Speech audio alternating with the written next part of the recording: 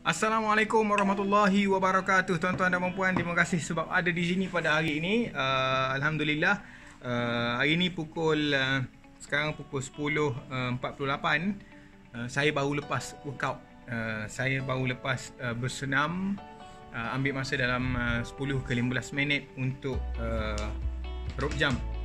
Saya buat skipping uh, depan rumah.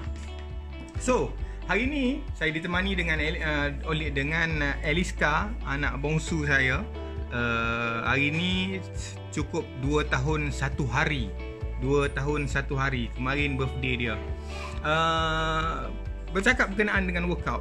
Hari ini saya nak uh, ulas berkenaan dengan senaman workout apa yang terbaik untuk turunkan berat badan senaman dan workout apa yang sesu, yang sangat sesuai yang sangat uh, uh, baik untuk turunkan berat badan. Okey? Ada yang kata berenang. Fakta yang diberikan sangat meyakinkan sangat betul kerana ianya pergerakan seluruh tubuh untuk berenang dalam air. Okey?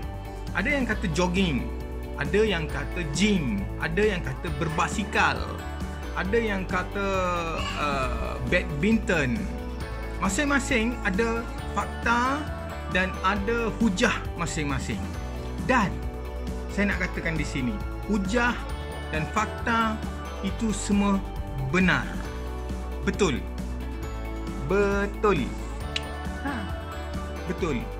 Tapi tuan-tuan dan puan Waima apa pun yang dikatakan betul dan, dan dengan hujah yang sahih itu ianya perlulah perlulah sesuai dengan tuan-tuan dan puan-puan. Ini key yang paling penting.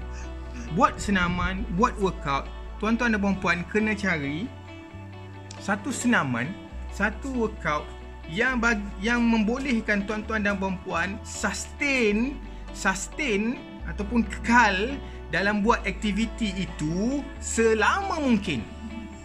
Selama mungkin. Okey. Kalaulah kata berenang terbaik, tapi kalau kita pergi berenang, kita boleh pergi uh, satu kali dalam satu bulan pun tak jadi juga. Ataupun gym, katakan yang terbaik, kalau kita pergi gym sekali Lepas tu kita pergi pula Lepas 2-3 bulan baru kita datang balik ke gym Sebab bila kita main gym Muscle kita sakit So ramai sebenarnya antara saya sendiri pun bila pergi gym dia akan sakitkan uh, muscle dan kita dah give up untuk nak pergi balik.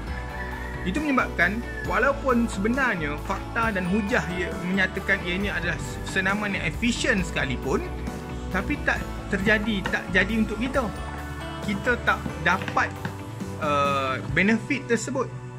Jadi senaman workout yang terbaik ialah workout dan senaman yang kita boleh sustain dalam aktiviti tersebut selama selama mungkin ataupun sepanjang hayat. Tuan-tuan kena cari. Kalau macam saya, saya dapat sustain bermain badminton selama satu tahun. Yo, saya tah, saya dah tahu kekurangan dan kelemahan saya. Dalam usia saya 30-an, saya dah cuba beratus kali untuk turunkan berat badan saya dah tahu kalau saya start daripada obesity dulu kalau kalau saya start dengan uh, jogging ataupun gym dia memang tak jadi. Tak jadi. Sebab biasanya akan pergi satu hari dua hari tiga hari lepas tu tak pergi dah.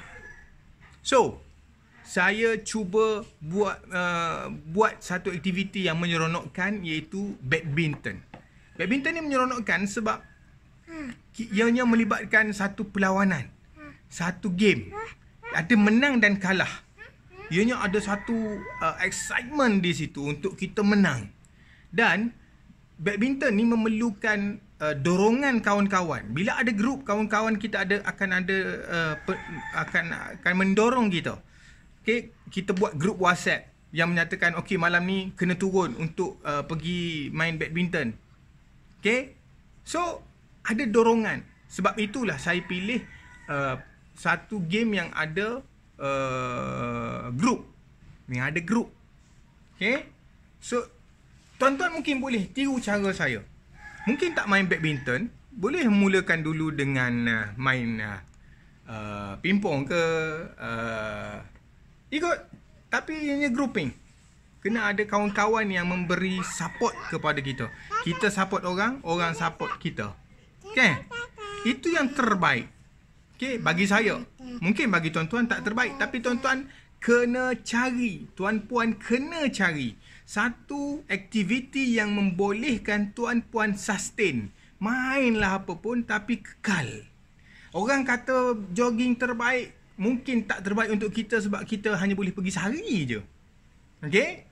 Itu adalah key yang terpenting cari workout sukan aktiviti yang membolehkan kita rasa seronok ataupun sustainable dalam aktiviti tersebut.